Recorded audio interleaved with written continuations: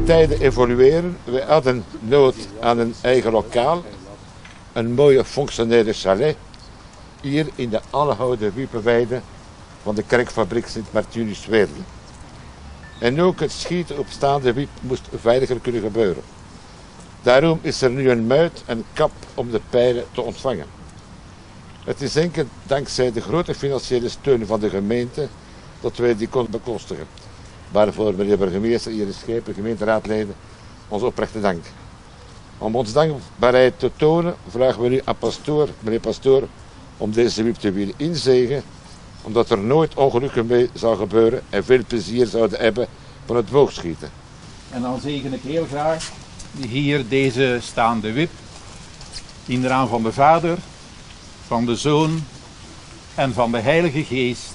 Amen. De buren die hadden de, de wip misschien liever een 50 meter aan die kant gehad of een andere kleurke.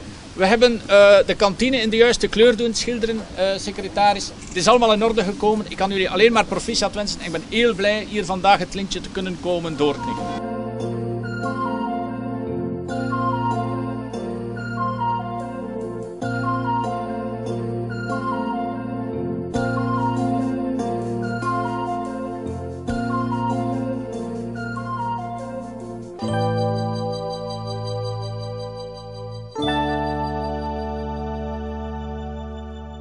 Is de bedoeling om uh, nieuw volk aan te trekken? Ja, uh, we hebben iedere maandag van de maand, in de zomermaanden, initiatie voor de jeugd. Daar komt een scheetmeester en die leert de jeugd schieten. Wat is dan het grote verschil tussen de liggende en de staande wiep voor een schutter dan? Voor de schutter is de staande wiep veel moeilijker. Mm -hmm.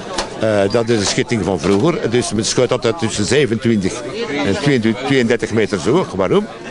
Omdat de bomen in Vlaanderen een maximum hoogte hebben van 27 à 32 meters. En de rest met de liggende wip, dus gemakkelijker, dat is 17 meters afstand.